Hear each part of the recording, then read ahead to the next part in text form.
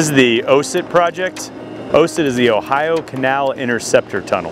The purpose of the project is to provide additional capacity for their storm and sewer system so that overflows can be contained and not go out into the riverway.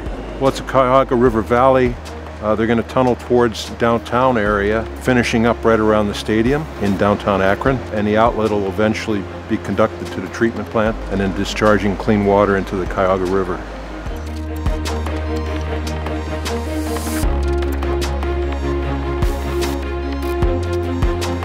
Throughout the assembly of the machine, we've had several hands here from Robbins' technical staff helping us through each step of the way.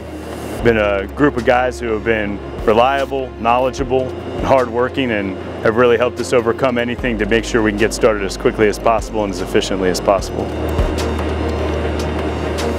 Crossover machine was picked for this application due to the varying geology we start in reach one, which is a soft ground reach, and then move into reach two, which is a combination of soft ground and hard rock, and then finally into reach three, which is all rock. So we had to have a machine that could handle all varying types of geology throughout the run.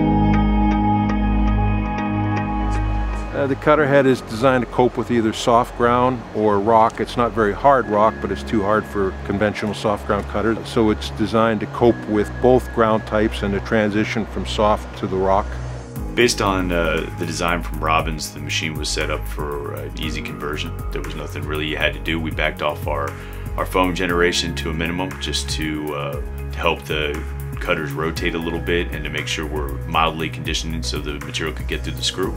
Uh, but really no huge changes. It was just backing off the conditioning and, and switching over into open and increasing our advance rates. Uh, we found even in this closed mode EPB where the, where the muck can be pasty and, and wet, we can handle it efficiently with a belt conveyor.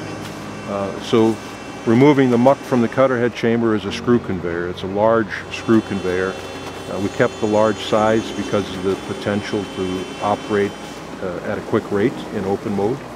So the screw conveyor pulls the muck out of the cutter head chamber. There's a transfer conveyor on the backup, and that transfer conveyor uh, deposits the material in, into the tunnel conveyor, which actually is built as the machine advances. Uh, the front of the tunnel conveyor, we call it the installation window, is mounted on the backup, and that is advancing as the machine advances.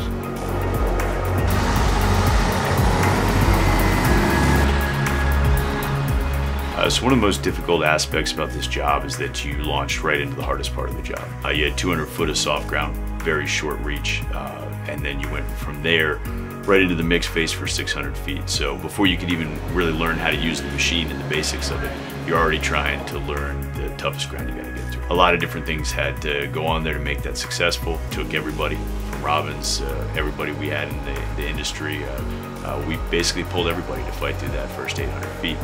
Did it, got to the other side. Um, this machine uh, proved to be very successful in the rock. Had the power to get in there, uh, made advance rates that we never thought we were going to get. Has been doing very well. It's very, very important for field service to be involved for the duration of these projects. I think that um, everybody's happy to be here and we're good at what we do. And it's very important for everyone to understand that when they have a product of ours that we're here to keep that product moving and to keep that projects moving forward.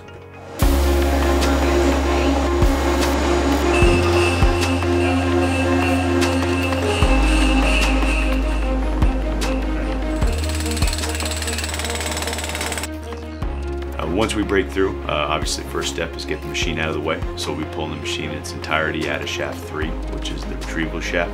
We gotta back all the utilities out and clean it uh, back to the portal.